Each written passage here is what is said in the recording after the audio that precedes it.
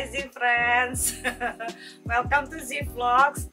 Aku lagi di Tomohon, di belakangnya Gor. Tebak dong, kalau ada dua anjing ini aku lagi di mana?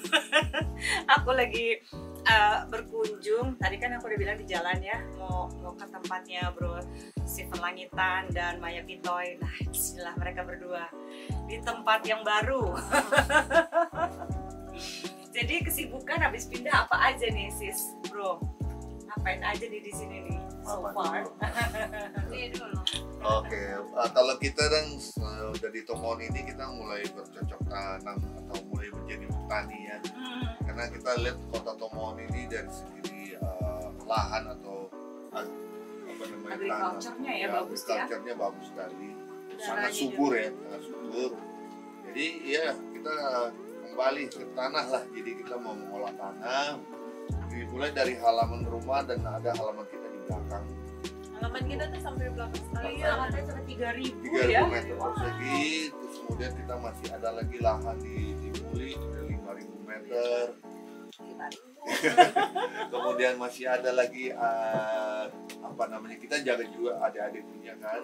Adik kita masih ada 3000 meter di sini 3000 meter di sini. Ya Oh, jadi itulah karena lahannya ada kita mau ya mulai dari apa kita mulai akan mulai dari rica ya cabai rica memang Ya. penting. Kalau penting buat yang nggak tahu bahasa Manado rica itu cabe. cabai ya cabai rawit bukan itu cabai-cabean ya Bukan Kemarin- cabe-cabe. cabai benar itu. gitu harga di eh, pasar Tomohon kemarin lagi menjelang Natal itu tembus 125.000 per kilogram per kilo ya jadi mungkin Luar sekarang biasa. ini udah turun sekitar 80 85 lah tapi itu fantastis lah Tapi itu sih ide bagus ya karena se sepengetahuan aku sih ya gitu. Kayaknya orang Manado itu nggak bisa lepas dari cabe atau rica dari kan. jam betul Setengah mati sekali. Betul. Jadi kalau mau hari raya atau nggak Iya. hari raya pernah ada satu masa di mana cabai itu susah. Wah, Iya. Stres orang Iya. iya Gitu. Wajib Jadi cabai I itu think it's very good ini ya. iya Susah nggak sih kalau bertani cabai gitu? nah orang bilang eh, susah apa, itu karena betul orang kan mau cari mudah ya Nah, Nah, begitu saya pelajari, eh, cabai itu memang harus perhatian, setiap hari harus dilihat. Gitu, syaratnya memang harus dilihat, dikunjungi.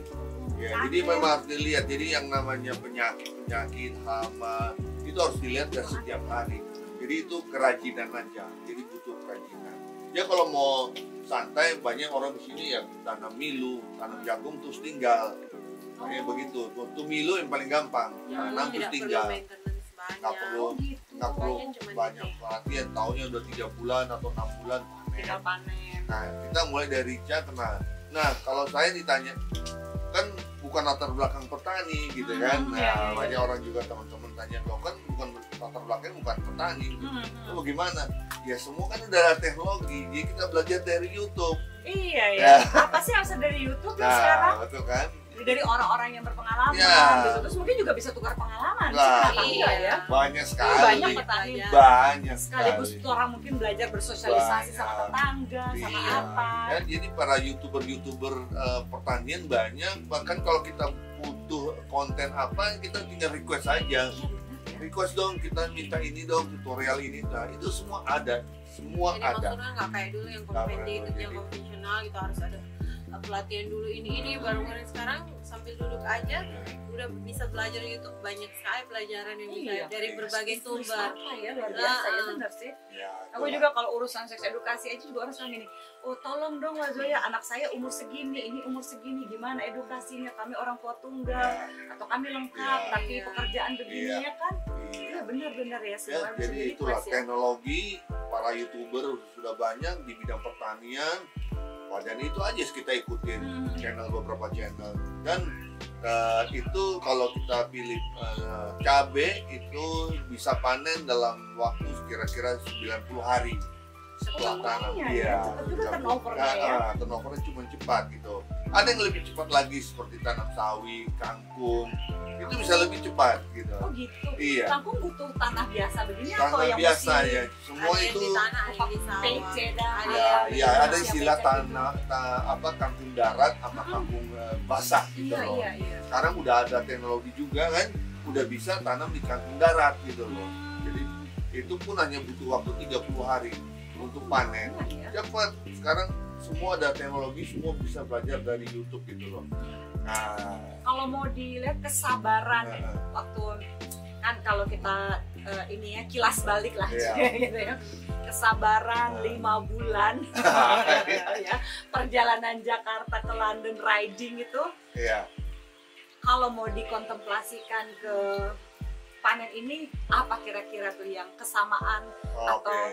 Apa gunanya iya ya kan ya ya itu kan kesabaran luar biasa pertama yang belajar waktu itu dari uh, YouTube yang waktu kita bikin vlog Iya. sama-sama itu ya satu bahwa uh, timing itu benar-benar is everything iya betul time managementnya itu luar biasa ya Betul. kalau mau dilihat terus kerjasama suami Ah. istri juga oke nah kalau Iya. dalam hal ini ini perubahannya banyak sekali Banyak. pertama lagi covid nah Iya. kan pindah rumah itu stres Iya Ya benar. Iya. covid stres terus ini memulai sesuatu yang, Yang baru. totally, totally baru. Keluar dari comfort meskipun zone. muda Ya. meskipun itu ini exactly. nah, keluar dari comfort zone nah, kebanyakan pasangan suami istri mau perubahan bagus sekalipun. Plus anak berantem. anak pindah ya. Anak kota dari pergaulan anak kota mau loh tinggal di Tomohon nah, bukan di Manado nya Tomohon Tomohon. itu masih ke atas sedikit gitu ya. Iya benar. it's it's a big change. Gimana cara ngatasinnya berdua? Kan ya pasti ada sedikit slack slack slack begitu. Tapi apa yang bikin eh, lancar apa yang bikin kuat dan bertahan dan kemampuan yang dulu ada di mana nih gunanya Ah. sekarang bro? itu ah, saya serahkan ke Maya ya kayak kita pindah ke sini kan karena bisa dikata ya panggilan Tuhan kan. Bukan karena cuma pulang-pulang aja. Dan memang juga karena kita udah ada rumah sendiri jadi terbengkalai jadi kita ya wajib lah untuk memperbaiki dan memang dan memang kita juga punya visi misi membangun kota ini kita ingin mendidik anak-anak. Ternyata jalan Tuhan dari mereka anak-anak itu ingin main ke mereka datang ke sini akhirnya datanglah kita ngajarin bahasa Inggris gratis. Tentang juga kepribadian, sex education juga mereka iya. saya ajarin tentang bagaimana mereka um, dealing with ya zaman sekarang kan porn yang dari masih dari kecil juga Iya, pasti udah terekspos dengan kan gitu gampang gituan sekali. ya jadi ya puji Tuhan itu anak-anak itu datang ke sini saya mengajar tapi di satu sisi mereka juga jadi cita buat suami. Mereka juga diajarkan sama suami saya tentang eh, apa namanya potensi-potensi petani dan setelah di, dikasih tahu hitung-hitungannya ya kalau cabai itu kalau panen jadi gini-gini anak-anak langsung oh ternyata itu profesi tidak bisa dianggap enteng dong. Jadi akhirnya kita memberikan mereka perspektif yang baru. Petani itu kalau memang mau berinovasi itu bisa, Bisa. menghasilkan banyak dan itu hasilnya nggak sedikit. Jadi mereka yang sebagian besar tadi ingin menjadi yang banyak kan lah ya. Akhirnya petani udah mulai masuk di daftar mereka. Oh kalau begitu papa aku petani dong. kalau Oh. bangga dong saya harus yang papa saya gitu Karena orang kadang-kadang suka silau ya sama label gedung besar Ya. iya itu dia pekerjaan pakaian iya gitu mereka ya. bilang mau jadi apa menjadi pegawai kerja di Jakarta itu Ih, karyawati kayaknya keren banget ya karyawati kerja di kan kerja Jakarta sama orang ya. Oh, Kalau iya. kan kita kerja sama diri sendiri ya. ya masing-masing sih punya ini ya cuman itu Ya, tapi luar biasa ya. Kalau itu berarti kan sebenarnya secara langsung eh, apa eh, Bro Steven sama Sis Maya itu mencoba membantu mem- membuat anak-anak ini melihat eh, gambaran yang lebih besar. Iya, Iya, betul. Ya, bigger picture-nya bahwa eh, petani itu nggak cuma ya udah bertahan di sawah, dia nggak lihat kerennya, Iya. tapi sebenarnya itu about ownership ya. Nah, Dia adalah orang pemilik, orang yang kelola, jatuh bangunnya juga orang yang belajar sendirilah istilahnya iya begitu betul ya. dan kalau ditanya kesamaan dengan Jakarta London ya semua itu persis banget ada tiga hal persiapan pelaksanaan dan evaluasi Iya kan Hmm. Ini semua kita bikin uh, pertimbangan-pertimbangan hitung-hitungannya terus kita pelajari semua itu bagian dari persiapan Iya, ya kan? persiapan. kita cari di YouTube um, apa namanya kesalahan-kesalahan yang dilakukan di dal- ketika jadi ya justru di YouTube yang kita cari kesalahan-kesalahan apa sih yang perlu kita hindari. Jadi menghemat waktu jadi kita nggak perlu ngulangin lagi kesalahan orang gitu. Iya benar jadi juga. mereka mem- yang youtuber youtuber di bidang pertanian justru banyak mengulas kesalahan-kesalahan yang yang ter- uh burung yang dilakukan gitu. Ya, jadi semakin Iya. enak gitu Persiapan. Jadi persiapan itu adalah seperti time management Jakarta London itu itu benar betul perhitungan Iya. Ya. bisa pas bisa gitu pas ya Luar itu perhitungan jadi semua bisa dihitung sebetulnya semua bisa dihitung jadi semua bisa dikalkulasi juga kan dari awal nah itulah kembali lagi bahwa prinsipnya sih di sini hanya satu uh, modal awalnya itu belief percaya Iya. Nah, kita udah taruh di Belief, uh, itu faith faith belief ya atau Faith belief believe trusting with God. All things are possible Even Ya. when you Filipi understand 4 ayat His plan. 13 kan Ah. itu ya segala perkara dapat Pas kita lagi, tanggung iya. dalam Iya. dia ada anjing, gambar anjing, Ah. taruh sih. iya pas jadi kita taruh juga itu uh, buat afirmasi kita Iya, kita duduk di faith, teras. belief, selalu kita ingat. Jadi ya udah, kita kalau memang sedikit ragu, goyang tuh nama manusia ya, Iya. wajar lah ya. malah aneh kalau Iya, cuma lempeng-lempeng terus-terus Ya, aja Iya, gitu kan. harus Ya. ada. Harus ada ininya ya kalau tatomon memang enak, tapi kalau tiap hari hujan, tiap hari hujan terus kan juga, waduh, Ya, bikin kita ya. juga ragu nih kapan mau mulainya hujan terus, hujan terus gitu kan, udaranya dingin, waduh. dan apalagi sulitnya itu di luar kontrol Nah, kan luar kontrol alam kan, iya bukannya karena nggak mampu lagi ya kayak gitu-gitu jelas. mungkin ada satu juga bro yang uh, kayaknya mesti uh, apa aku pengen uh, si friends aku juga belajar. Bagaimana caranya untuk kompak Ah. ya Pasangan. suami istri gitu. Terutama kalau menghadapi kegagalan. Nah, itu paling susah loh. Itulah banyak yang kegagalan bikin Iya.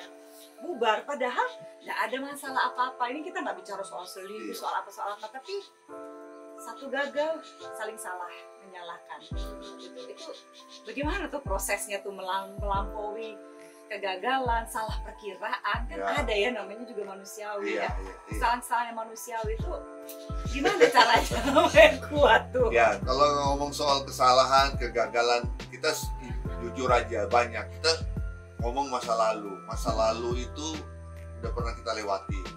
Nah, jadi ada konflik, ada perselisihan. Nah, untuk menjadi kita sesuatu yang lebih baik, kekompakan suami istri dalam hal ini ya kita benar-benar rekonsiliasi. Hmm. Kita benar-benar menyerahkan diri kepada Tuhan bahwa kami sekarang mau punya masa depan yang lebih baik dan kita punya kesepakatan apa yang harus kita lakukan. Hmm. Ya satu yang paling penting takut akan Tuhan Balik ke jadi- firman. Jadi kalau kita hidup benar-benar di dalam tuntunan ilahi, akhirnya kita menjadi masing-masing yang di atas ingatin this life is not about you. Jadi Iya. ketik rupanya kita jadi mengerti Ya, kegagalan hidup kita, kita Ah. berdua pernah melakukan kesalahan ya iya. iya yang ya hanya hampir lah membuat semua rumah tangga kita juga hancur. Dan apa namanya kita jadi mengerti karena semua tentang saya pikir Oh, you make me happy, toh Ya, iya. harusnya begitu. Hmm. Dia cuma mikir